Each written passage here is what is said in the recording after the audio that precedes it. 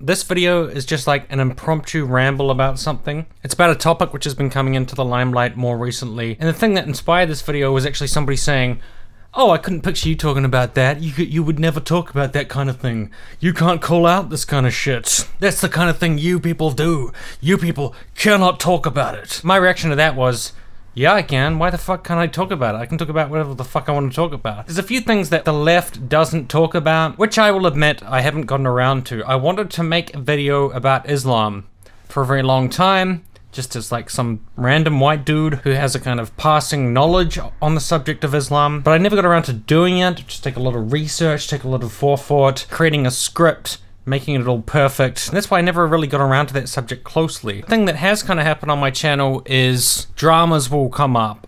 Fights with particular individuals. Like people will make videos that I will watch and say, that video was a bunch of fucking bullshit and have to say something about it, but it means that certain subjects do fall through the cracks. Alright, I'm already talking about something completely different than what this video is supposed to be about, but I also think I have no desire to make a video where I edgelord out about Muslims being evil and like throwing gays off buildings and like throwing acid in the face and all that kind of shit, because for me it all kind of blurs together it becomes a very haphazard conversation. I would want to make a video that was very particular and very thought out. And whenever I think of doing that, it sounds like such a hassle that I just get lazy. And I think that means the entirety of one's views don't really come to the light of day because you get distracted by other things. And then there's a kind of confirmation bias where people say, aha, people on the left, they refuse to talk about this or that, which is not the case. It's just a matter of managing these kind of things, and I'm not always the best at that. So recently, Harvey Weinstein who is this Hollywood producer, and apparently he's a lefty liberal guy. I didn't really know that before. This is new information for me that he's on the left or whatever. As far as I knew, he was just a movie producer. Basically came to light that he was like a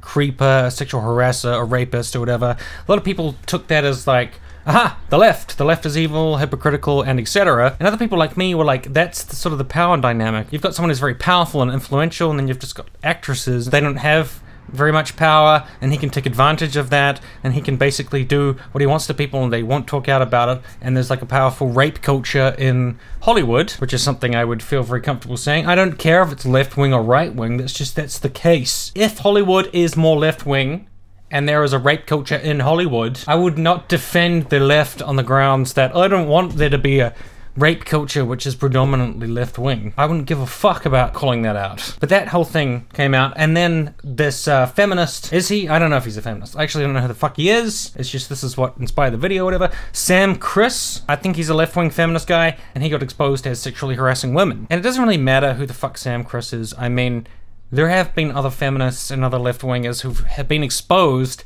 as being sexual harassers. And I want to say unequivocally right now, why would I have a problem calling out male feminists who are sexual harassers?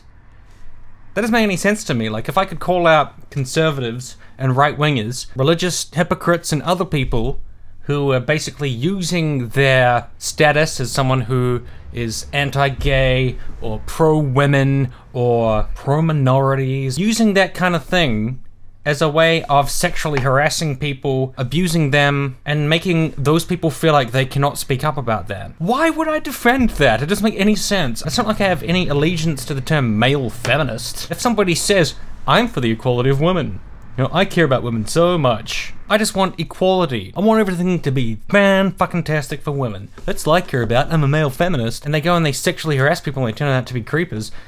Why the fuck would I defend that person just because they call themselves a male feminist? I mean, they're a total fucking hypocrite. Maybe I'm less invested in this because I've never actually called myself a male feminist. That's normally just been what people have put upon me. I know a lot of feminists. I know a lot of male feminists. I know a lot of female feminists. I'm pro-feminism because I believe in equality and I probably have a different perception of what feminism is about than some of its detractors who would say, oh, it's a female supremacy, Marxist, uh, whatever the fuck, I don't know, uh, Orwellian blah, the reverse fascism. I don't know, whatever you want to define it as, that's fine. As I said, I don't particularly care what people think of male feminists because anybody can call themselves something. I can call myself a feminist. That's just the image that I'm putting out there. I'm a feminist. It doesn't really say anything about whether I'm a good person or a decent human being. Somebody can call themselves a skeptic.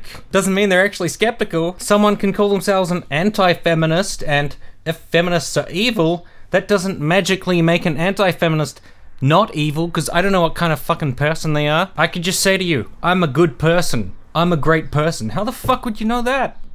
That's an easy thing to say. You can just say that. Doesn't mean I'm a good person. It doesn't matter what people's words are. It matters what their actions are. There will be male feminists who will say, I'm a male feminist. That means I'm a good person. And that's total bullshit because they're a piece of crap. And then there's other people who say, I'm a male feminist and I'm a good person.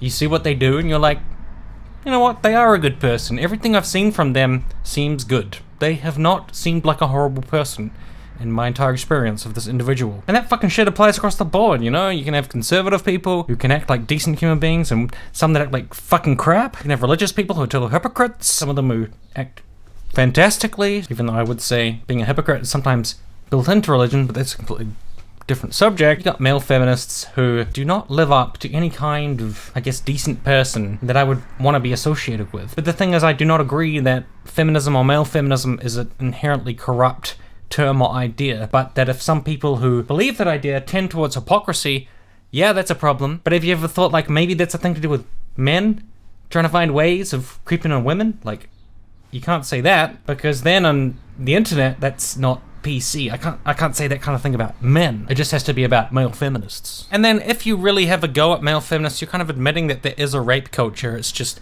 perhaps somewhat localized to certain groups, like a rape culture in Hollywood, on univers- many university campuses. Pockets of rape culture amongst male feminists. A large rape culture online, just in general, a rape culture in prison, rape culture in the military, and the place where I'm not totally on board with like skeptics and anti-feminists who would make similar videos about this is saying that this is something particular to male feminists. Whatever I think about Ronald Reagan, he did have a line which was very intelligent, which was trust but verify. If somebody says that they're a male feminist and they believe in equality and they believe in treating people well, alright, trust them just on a face value, but verify. Verify they actually like that because you never really know who's going to be a fucking creeper. I personally believe I'm not a creeper because I feel like I would know about that and I would have an understanding of the fact that I was that kind of person. So I don't think I am. But you see, other people don't know about me what I know about myself. And I don't know about other people what they know about themselves. People can always be holding some kind of secret, some kind of quirk to their personality or some kind of darkness that is independent of being a feminist, being an anti feminist, being a conservative, being a liberal, living in Hollywood, living in some other place. It's a large, mixed up, crazy world, and you have to verify that people are decent human beings. And so much of this is just tribal shit. It's basically like, all of a sudden we care about rape. All of a sudden we care about harassment. All of a sudden we care about shit that happens to people because male feminists did it. And I swear this is a total fluke, but I found out today that a particular content creator is going to make a video just about male feminists. And it's going to be a total tunnel vision kind of thing. It's not going to give you the idea that, wait a minute, maybe it's just not about male feminists. Maybe it's about an actual wider rape culture, which can occur within feminism, but can also occur outside of feminism. And if someone's a male, but they're like, I'm not a feminist, how does that mean that you can feel more safe around them? I don't have particular information, so when somebody says male feminists are a lot more likely to sexually harass people, I don't know if that's fucking true. I have no idea. You could come up with a ton, a slew of examples of male feminists who've sexually harassed people. But that wouldn't prove that it was more likely. That would just say there's lots of visible examples that we can see because someone has exposed it. This particular male feminist is a creeper. This male feminist is a creeper. This male feminist is a creeper. But how's that telling you that there's not a fuck ton of creepers in other areas? Do you think there's not a fuck ton of creepy gamers in entertainment, of course, on college campuses? Are you fucking joking? A lot of the time, the focus is very myopic. It's very limited and it's very narrow. It's like, we're gonna focus on this particular group. This is the group we don't like. We don't like male feminists.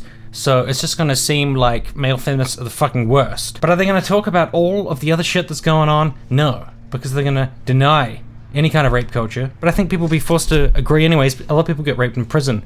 A lot of people get raped in the military. A lot of people get raped on college campuses. They're only willing to talk about rape culture in terms of something which backs up their own prejudices about who the good and bad people in the world are. Because the fact of the matter is, I think this kind of sexual harassment, this kind of hypocrisy applies to a whole lot of groups just across the board. And that's the discussion that people won't have. They'll just have the discussion focusing on one particular group. But at the same time, I totally fucking agree that there's a problem with male feminists. So I don't actually care about content creators going around making exposés of a particular group of people who call themselves male feminists or who they call male feminists. You know, because some people call me a male feminist and I've never identified as that, so it can be an elastic group, I suppose. I don't give a shit about them making videos about those people.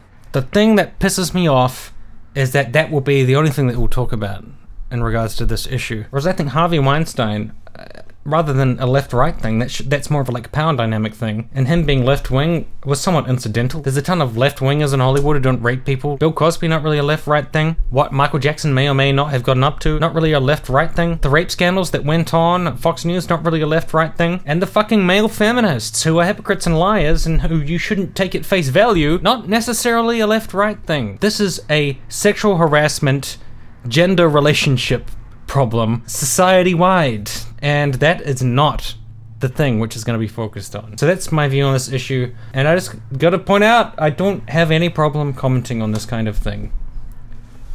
Don't sexually harass people. Goodbye.